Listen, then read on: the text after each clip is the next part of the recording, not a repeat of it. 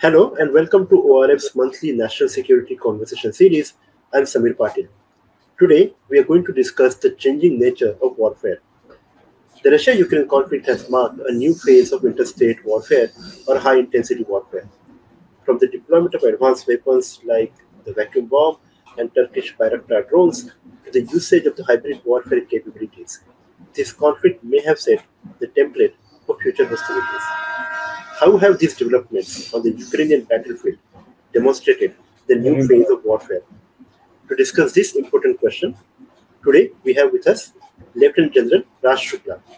General Shukla is a retired army commander and has enabled operational service and record spanning more than four decades. His most recent position was the commander of ARTRAC, of the Army Training Command based in Shimla. Welcome to the program, sir. Thank you, Sameer. Thanks a lot. Great to be with you. So let, so let me jump in straight away. Uh, what is the significance of the Ukraine conflict on the international system in general and on warfare in particular? Okay, you know, so the first thing I want to say is that, you know, in my view, before we get to the military lessons, uh, Ukraine has been a watershed of many sorts. There are major, shall I say, seismic impl- implications for the wider international system, as also, you know, systemic consequences for national security and war fighting. So, very quickly, you know, what are the implications for the wider um, international system? Well, first and foremost, uh, you know, I think we see the returning salience of the instrument of force in the power calculus. Uh, for a long time, we heard this refrain that the days of all out conflict are over. Ladai nahi hone wali in India also was the talk. Uh, that doesn't seem to be true, or at least only partially true. You know, we saw violence in the global war on terror, we saw limited wars in Syria, Libya, Nagorno Karabakh. But this kind of conflict, you know, in 21st century Europe, uh, leading to violation of territorial integrity, where the survival of state is at stake, this is a huge game changer. And just as a matter of interest, you know, I was at the RUSI Land Warfare Conference. This is a conference which is held in London annually in 2018 all the participants there they were people from uk from the defense establishment from europe everybody was of the view that you know russia was in this very offensive posture now they did not necessarily predict ukraine but they were all confident that we must return to great power competition and take into account russia's military visage so that was the view in 2018, near unanimous. Uh, the, it's a different matter that nothing was done about it. So uh, the first point uh, that we must really wonder is that when we saw it coming, or at least when Europe saw it coming, why it did not do, you know, enough. The second lesson you see is I think there is now an unfolding Cold War, and in this new Cold War between you know uh, America-led West and China and Russia on one side.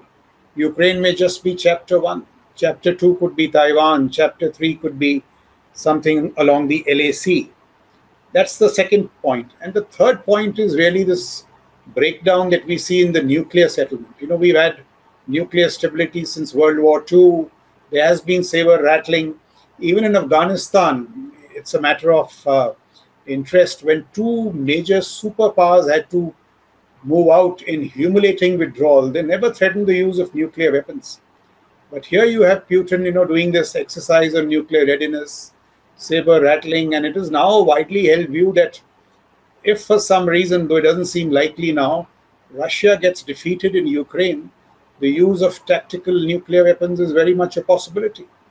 So this is another thing we have to revisit the nuclear paradigm, especially in the light of you know what the Chinese have done with the FOBS, so on and so forth. And the last point is that the war points to the limitations of economic statecraft. I mean, despite all the energy dependencies, here you have a war between Russia and the rest of Europe. So the surest deterrent seems to be a joint, calibrated, technologically enabled, and ready instrument of force. Very important in the Indian context because each of these one word descriptors takes a decade to create. You know, the problems in jointness, it takes two decades to get joint, two decades to get technologically enabled, ready. Russia, um, I mean, was hailed by many as this great 21st century military. It proved, at least in phase one, to be thoroughly unready. So these are the lessons that we must draw from Ukraine, both from the you know implications on the wider international system, as also uh, for national security.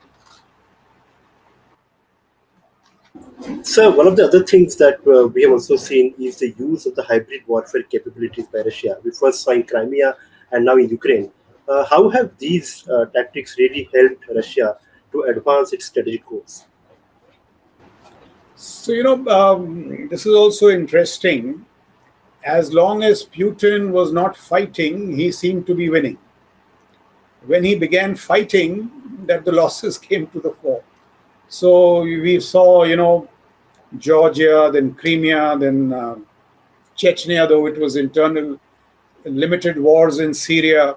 You saw these little green men where there was non attributability. We saw how the information warfare dynamic was smartly leveraged. So as long as he kept the conflict below the threshold of all-out violence, he did seem to be winning.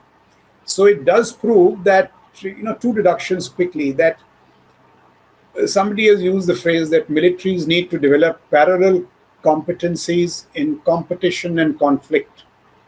And competition is very different from conflict. For example, China has altered the entire dynamic in the South China Sea without even firing a shot, the geostrategic reality without even firing a shot. That does not necessarily prove that China will do equally well in a military confrontation with uh, Taiwan because they are two different sets of competencies and they are a huge ask. While it is easy for the politician to swivel from gray zone to all out conflict, as Putin did, and possibly on military advice. He was told that you know these seven thrust lines into Ukraine will overwhelm them, but that wasn't the case. So that is one point you have to be very careful when you when you think of gray zone and all-out uh, uh, conflict. And the other thing I think you alluded to this in your introduction is that industrial warfare is not over. Many of us thought that we have seen the last of industrial age warfare.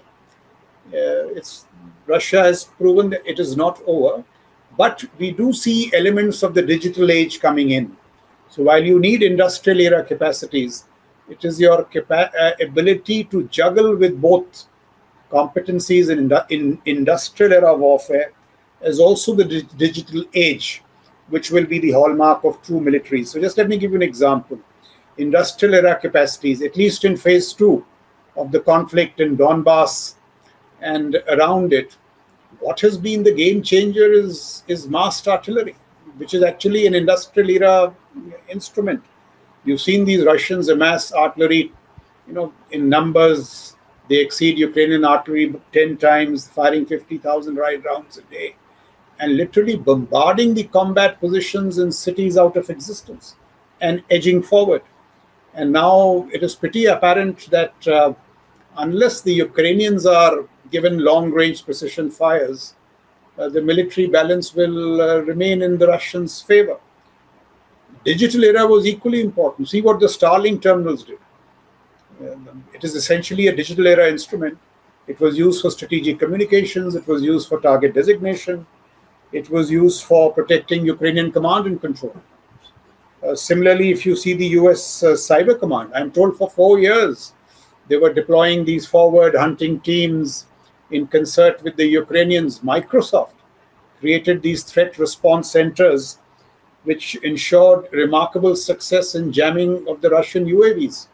That answers the question that why didn't uh, these formidable capacities of Russia in cyber and electronic warfare really succeed. They didn't succeed because the response was, uh, shall I say, diligent and uh, very dogged. So you see, you have to have competencies in both industrial era competencies and digital era comp- competencies. That seems to be another lesson. Hybridity in that form, and hybridity in the form of parallel competencies in competition and conflict. So, looking at that uh, latter aspect, uh, which kind of technologies, disruptive technologies, do you think will matter the most uh, looking at the future course of warfare uh, for the militaries? So, you see, even when you use industrial era platforms, for example, the tank and or what we call, uh, shall we say, capital intensive platforms, the tank and the Su 30 and the Moskva, if they are not updated or upgraded in terms of digital era proficiencies, they will perform suboptimally. Or another way, perhaps, of putting it is that uh, 20th century platforms will not survive easily in the 21st century battle. And so, therefore, if you see how, shall I say, small, innovative, small but innovative embedded technologies have begun to challenge legacy platforms. So, what the tank, the Javelin top attack armor did to the tank, what the drones did to the tanks. You had these, you know, Puma switchblade combinations. Puma for designation, switchblade loiter coming in and taking out five to six tanks at one go. What the Stinger did to the Su 30, or actually what layered AD has done to aerial platforms. So, uh, portable AD systems, um, manpads, uh, S300, S400s, multi layered they have literally prevented this very formidable Russian air power from operating with any ease in Ukrainian airspace. Ukraine airspace is still contested territory. And now in phase two, you have this very interesting uh, development where the Bayraktar drones are being targeted by an equally uh, robust Russian AD system. And in military circles over the last three to four, five years, people said, uh, you know, ground ADs cannot survive uh, the overwhelming power of air power. That hasn't proved to be true. See what the Moskva, I mean, how it was taken out by the Neptune missile. So it raises these whole questions about the survivability of aircraft carriers, so on and so forth. Look at the grave losses that Russia has suffered. Over 1,000 tanks, I'm told 50 helicopters, close to 400 artillery pieces, and some 40 to 50 fixed wing aircraft which are great losses and all at the mercy of small and emerging technologies. Swarming does seem to be challenging tank surging. You know, for long, militaries prided themselves in fire and maneuver. Now, with space based assets and precisionary, precisionary also has been game changing. Surveillance and precisionary are challenging fire and maneuver. Microelectronics, you know, the small chip it's used in RF, it's used in radar, it's used in imaging, it's used in communications. In fact, Russian weaknesses in microelectronics have uh, been a big reason why this grand Russian military has performed suboptimally, at least in phase one. Uh, so I think the future is about these small innovative technologies, deep technologies, AI. I mean, if you're going to have platforms which think and act faster than thought, uh, I mean, a Mach 7 missile cannot be responded to at the level of, uh, at the rate of human judgment. It has to be responded to at the rate of machine learning. So you have to reinforce your, you know, these uh, capital platforms with technological innovation and invest greatly into deep technologies of the future. So that is the challenge for militaries, and that is the challenge, I think, in the national security spectrum. Uh, so certainly, some of the militaries are looking at the developments in the Ukrainian battlefield to uh, imbibe lessons uh, for their for, for, for themselves. Uh, you know, what kind of lessons do you think are uh, important from this conflict for the global militaries? See, there are some general lessons which will apply to militaries across the board, and then there'll be some lessons, I think, which are pertinent to India. So just look at some general lessons. One is this: I mean, we all uh, I mean, in international relations, the salience of a calibrated instrument of force, not an instrument of force to jackboot around the world, but with precise, calibrated, technologically enabled, uh, you know, capacities. That is the surest form of deterrent. I think it was uh, Chanakya who said uh, very aptly. He said, "अगर अपने शास्त्र को भूलोगे तो संस्कृति खो दोगे और अगर शस्त्र का त्याग करोगे तो राष्ट्र ही खो दोगे that is a lesson I don't think we should forget. uh, George Shultz. I mean, let, let me labor in it because I really have a deep conviction about this. George Shultz said that negotiations are but a euphemism for capitulation unless you have the shadow of power cast across the bargaining table. So the salience of instrument of force is one of the big lessons for global militaries. Um, because the last place you thought you'll have all-out conflict was Europe, modern, prosperous Europe. See what's happened, and this great challenge of you know not confusing competencies in competition with those in conflict. Uh, you know, gray zone and all-out conflict. To make that transition is not easy, and India faces a similar problem or a similar challenge. You have the gray zone paradigm unfolding along the LAC. You will have it in the IOR but all out conflict is a very different ballgame, as Russia has shown. So these are, you know, uh, the two large lessons. The, uh, you know, uh, the other issues are, you know, industrial era capacities. Now you suddenly discover here that the Americans are unable in their current industrial base to keep up with the need for javelin missiles. I'm told about five to 600 are being fired for a day and the numbers needed, the Americans are not able to supply them. The demand for Leopard 2 tanks, HIMARS, industrial capacities need to keep pace uh, because in protracted conflicts, they will be the battle winning factor. The next issue is, you know, supply chain independence. It is key to strategic autonomy and your military uh, deliverance. Look at the Russians I'm told I picked this out from somewhere in cruise missiles with the Iskander ballistic missile system, the Tornado rocket launcher system, the Tor M2 AD systems. You know, for small issues like fiber optics, oscillators, socket attachments, they are dependent on the USA and the UK, the Russians. And they are handicapped in, uh, you know, now refurbishing or repairing these systems. When they are falling short of tank, two major Russian manufacturers simply don't have the spares.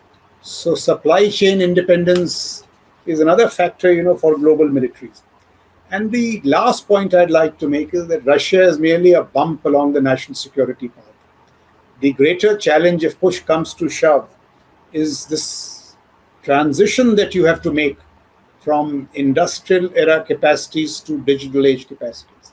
Because that is where the Chinese are doing a great deal. So in AI, autonomous systems, um, digital combat, AI-enabled warfare, it will need an entirely different thrust. Uh, so you know, Russia is a good wake-up call, but we have to see each military has to see um, what uh, or who its adversary is and brace up accordingly. So I think those are the challenges for uh, for global militaries. Uh, so you applied to the India, those, uh, you alluded to the Indian uh, context, and we have also initiated our own set of military reforms, uh, jointness, theaterization, uh, the, the creation of the post of chief of defense staff. Uh, how will some of these lessons apply in the Indian context? Yeah, so see, India also is doing a great deal, as you pointed out. The CDS DMA was a game changer, but you know, the principal issue of CDS DMA is what the CDS DMA was created to drive change through the national security system. And that is going to be a huge challenge, as you've seen with the Agniveer, because it is a big, bold, transformative reform in HR, and there will be pushbacks and apprehensions of that sort. And, you know, Atmanirbharta, once again, it's not just a slogan of self reliance, it is about technological innovation. Technological innovation by getting all competencies together. So you know, these things have been initiated by this government. You see defense coming out of the shadows of foreign policy. But when defense comes out of the shadows of foreign policy and when you adopt a muscular outlook, you also have to ensure that your instruments are ready. So all these, uh, you know, things um, are challenges. Look at the salience of theater commands. The Russians had these seven massive offensives north to south, all under a military district, and they didn't seem to deliver at all. They lacked in coordination and convergence. And you now have a theater commander appointed in Russia. So now, in the context of our own, uh, you know, theater commands, it's so important. So theater commands, uh, we have a large number of these Soviet era platforms, both in the Army, Navy, as also in the Air Force. So we do have to see how we need to right size our relationships, diversify our weapon inventories, look at the supply chain dependencies that I talked of, because the future is unpredictable. While you know we have great regard and uh, for the our relationship with Russia, but uh, we do have to take all this into account. And also the Soviet era platforms, in my view, will have to be upgraded massively in terms of technological innovation. So you need a whole blitzkrieg here, upgrading these platforms in terms of ISR, precisionary. You see, look at our tanks. So we have to upgrade them in terms of counter drone systems, in terms of active protection systems, fuse sensors. Our artillery ammunition is dumb, and the future seems to be about long range precision. It has to be precise, long range precision. Uh, huge investments in ISR. Look at the LEO terminals of uh, Elon Musk. They did great stuff uh, on the tactical battlefield.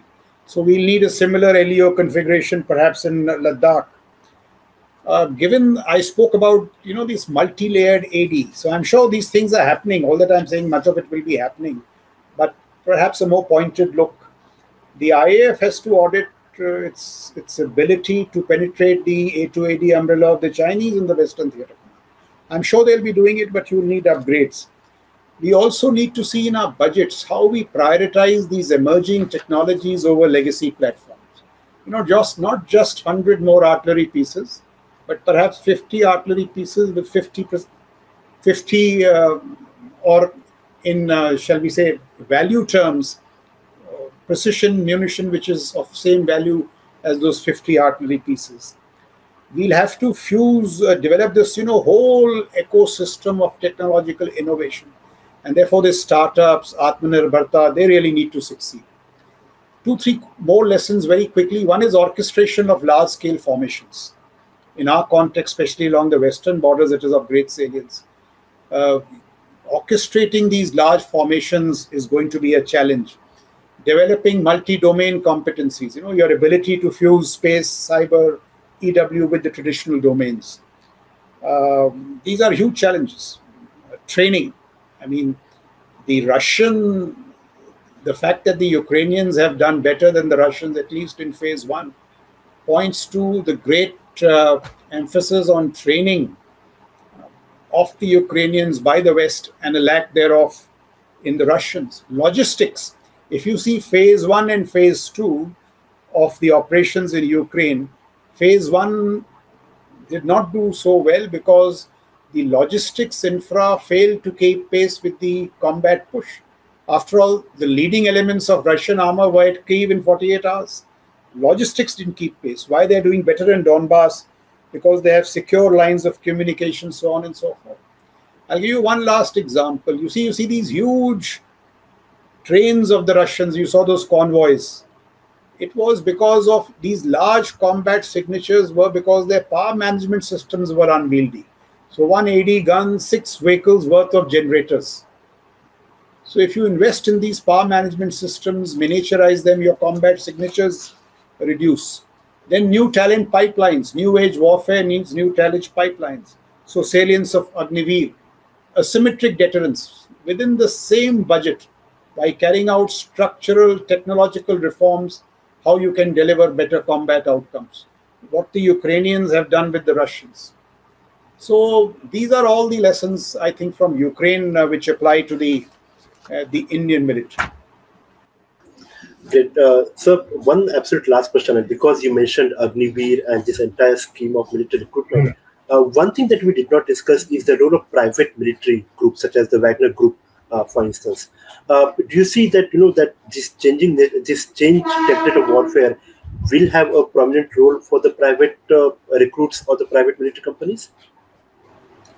You see, if you're talking of private sector and capacity building and war fighting, that yes, that seems to be the future. Look at what Elon Musk has done.